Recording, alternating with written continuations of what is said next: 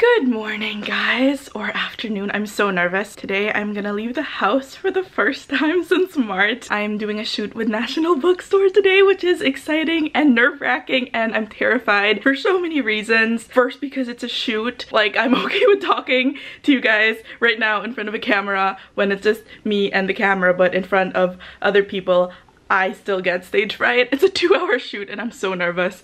Um, but I have a change of clothes because I don't know what they're gonna make me wear.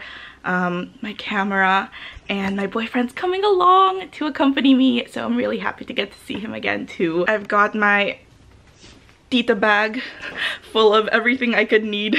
Something else I'm doing for the first time in eight months is wear jeans. Yeah, I'm I'm very scared, excited, but more scared than excited at this point, and hopefully I'll calm down in a bit so I can actually go and do the shoot. So right now I'm just waiting um, for my boyfriend to pick me up. I will see you guys in a bit.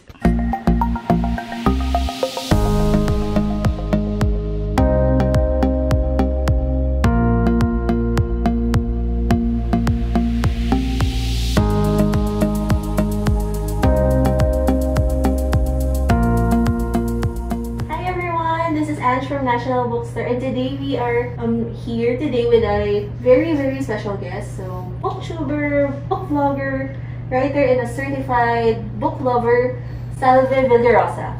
Hi everyone, my name is Salve.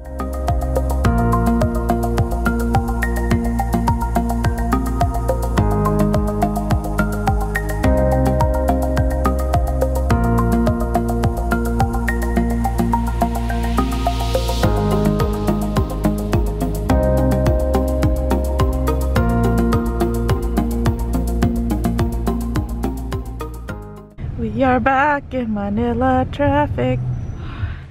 So I just got home and my lipstick's all a mess because I wore the mask throughout filming.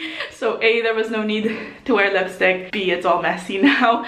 Um, if you look at the inside of my face mask, lovely.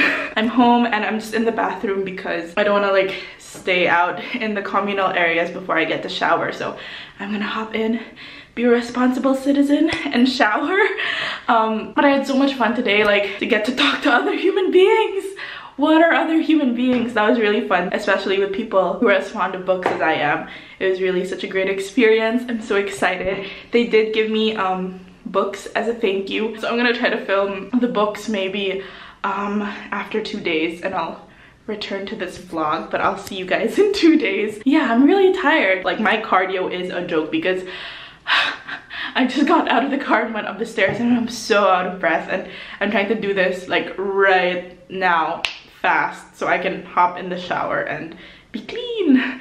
But and my hair doesn't I've been patting this for like five minutes and it doesn't want to but as far as like returns into the public world after quarantine go I mean it's freaking fun to be doing it talking about books and I got to see Alex a lot and um, just hang out with him. So it was kind of like a date also all in one. But yeah, I'm gonna go shower and be responsible and I'll see you guys in two days to talk about the books. Hello guys, I am back like three, four, five, a whole week later. I just filmed the Cousins book review. So I was like, oh, you know what? I'm gonna time the unboxing of this with when I'm gonna film another video, another regular video. So at least like I'm all dolled up and hindi sayang yung makeup and the hair, which I've straightened it so many times this week that it might be a little fried. So we are here finally and I haven't gotten a look at the box yet except for one book. I took a peek like a ah, in the car on the way home. And then I decided it would be better if like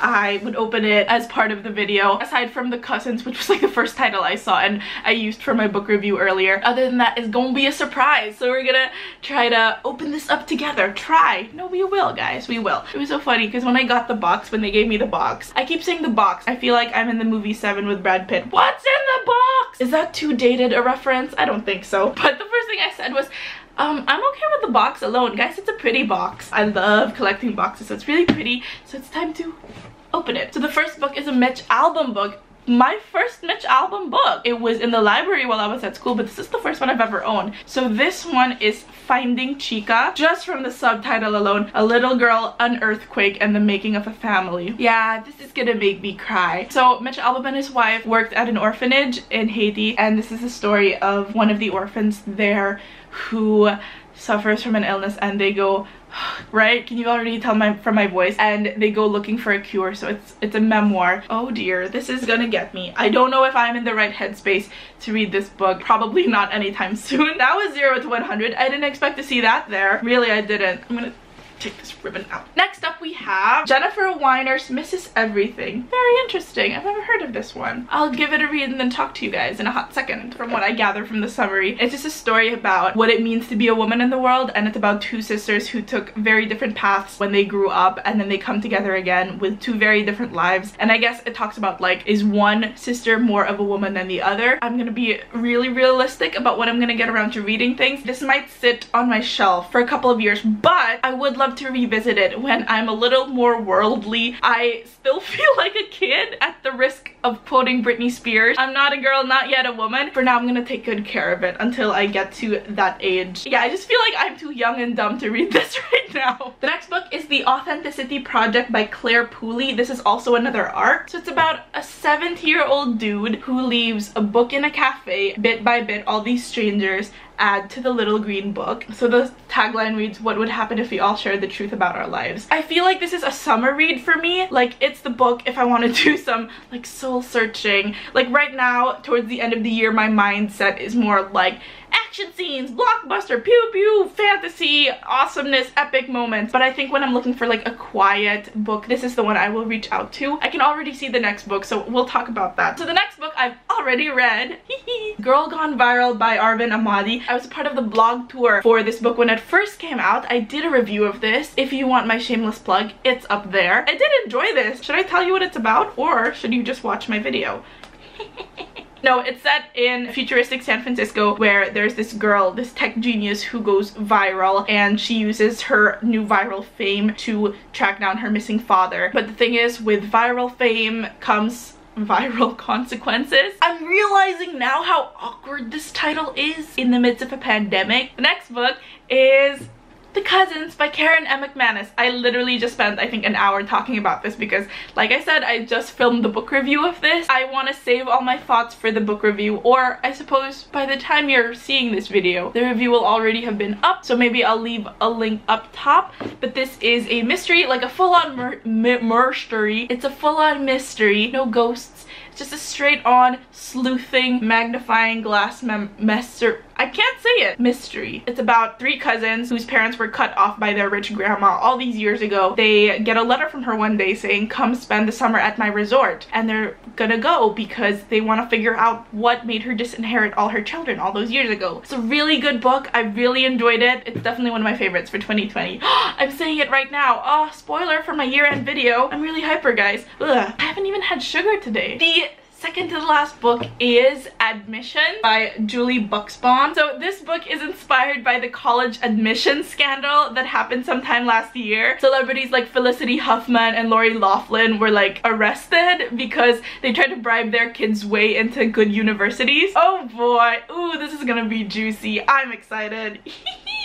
okay, so there's one last thing in the box. But first I'm gonna go with the last book in the box. And it is Siri, Who Am I? So it says, it's a hilarious comedy about a young woman who uses her Instagram account to retrace her steps after she wakes up in a Los Angeles hospital with no memory of who she is or who she's claiming to be. She wakes up, she's wearing a Prada dress, Chanel lipstick, the house she supposedly lives in belongs to a French billionaire, and then she like goes across Los Angeles to figure out who she is. Oh my gosh, I feel like I'm gonna have a blast with this book. Dang it, am I gonna have to rework the rest of my TBR for this year? I think I might. Honestly, when they were like, oh, okay, so we have a, something as a thank you gift for you, I thought like, oh, like gift certificates probably for National Bookstore or a treat or a notebook. And then like he comes in with this stack of books and I'm like, no, that's the best thank you gift I could ever imagine. Dang it, what book am I reading now? Can I stop reading it? Oh no, wait, it's also a good book. But the last thing is So this one's just a ball pen. Okay, so funny story because I also know that the footage I took of the actual shoot wasn't that much. So am I talking longer so this video will seem longer?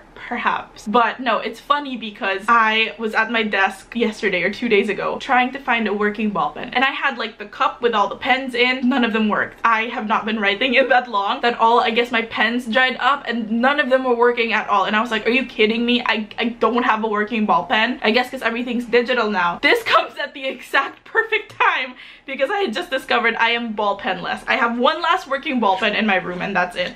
Now two. So my hair was a mess during that whole thing but I figure like vlogs are more au natural and more organic. That's why I'm wearing my PJs but honestly that was such a fantastic blast that I had. The National Bookstore rep that I was talking with um, during the shoot we were like you know it just it feels so good to be talking in person with other people who are as passionate about books as you are. The videos are already up so I can leave a link down below to the three videos because we talked so much that there was enough content for three videos worth. But yeah, I just had the best time. I honestly never thought that the first time I would be leaving the house would be for a shoot. What? It was a really good experience. I was terrified but i had a blast. They're so lovely to work with. And yeah that concludes this vlog. I don't do vlogs very often. I don't know how does one end a vlog? Just like peace and love! I don't know. But yeah that about does it for today's vlog. You can follow me on my other bookish adventures on twitter and instagram both at cuckoo for books. Please subscribe and i will see you guys very soon. Bye guys!